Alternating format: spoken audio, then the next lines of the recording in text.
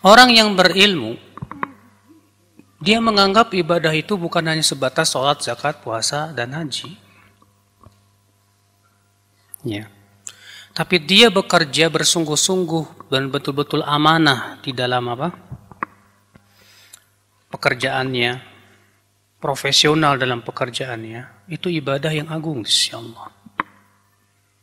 Itu orang yang berilmu. Waktunya kerja ya kerja. Saya profesional.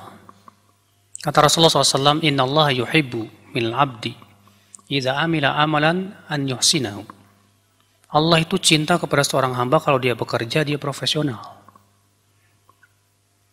Iya, dia pengen dicintai oleh Allah.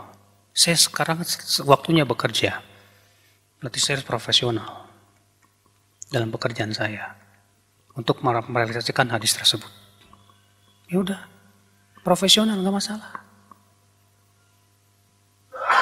Ya. Kemudian setelah dia bekerja, dia gunakan waktunya untuk ibadah. Fa'idha farokta fansok. Kata sebagian ulama, kalau kamu sudah selesai dari urusan duniamu, berdirilah untuk mengharap kepada Rabbmu.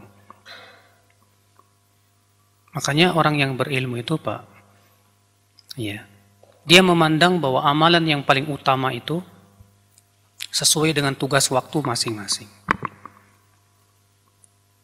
Ya, ketika dia kerja, amalan yang paling utama buat dia adalah amanah dan betul-betul profesional dalam pekerjaannya. Ketika dia bersama istrinya, amalan yang paling utama melayani hak memberikan hak istrinya. Ketika dia mendengar adzan, amalan yang paling utama adalah menjawab adzan. Dan dia pun juga bisa melihat kalau misalnya bertemu dua amal, mana yang harus didahulukan.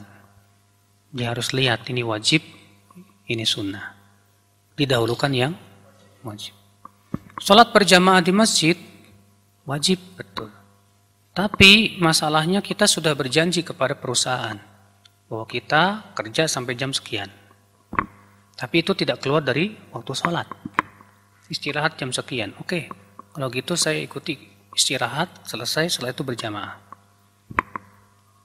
Ya, sesuai dengan jamnya. Enggak bertabrakan? Tidak. Ya, selama waktu sholatnya tidak keluar, keluar dari waktunya. Kalau orang yang nggak punya ilmu lagi kerja keluar ngapain? Sholat. Belum waktunya pak, ini satu jam lagi, setengah jam lagi kok. Eh udah azan. Ini beramal tanpa ilmu. Ya, karena sholat di awal waktu itu bukan kewajiban, tapi keutamaan. Paham tidak pak? Iya. Sementara dia sholat berjamaah syaratnya bukan di masjid, yang penting berjamaah. Nanti saya selesai dulu kerja, mau berjamaah bareng-bareng sama teman-teman. Bisa, bisa. Itu kalau punya ilmu. Kalau nggak punya ilmu, ya begitu nasibnya Pak. Tidak bisa menimbang mana yang harus didahulukan, mana yang... Nah di sinilah kita beribadah itu harus pakai ilmu. Jangan sebatas apa?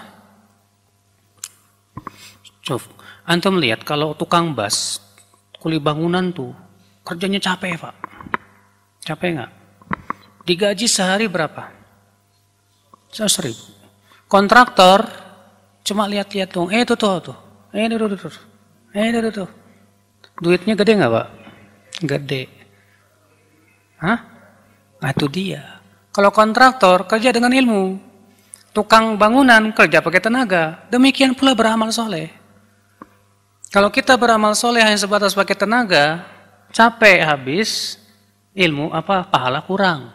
Tapi kalau kita beramal dengan ilmu, kita faham bagaimana saat-saat yang besar pahalanya, mana yang lebih utama dan yang lainnya.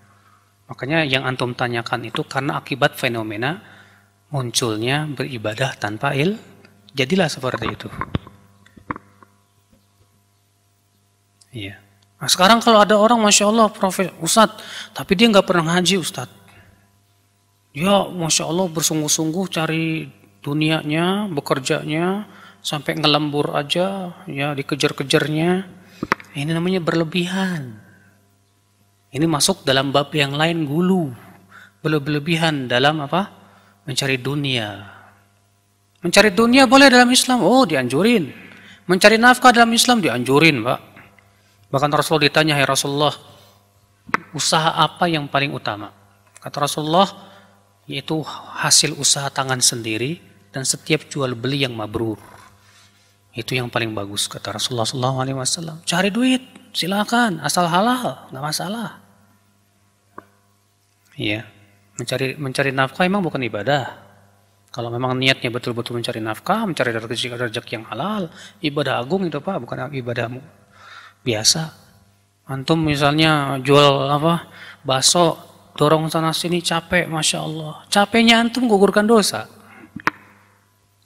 Ya, ya Allah, hari ini cuma dapat segini. Sedihnya antum sudah menggugurkan dosa. Luar biasa kan? Luar biasa. Itu kalau kita betul-betul ikh, ikhlas.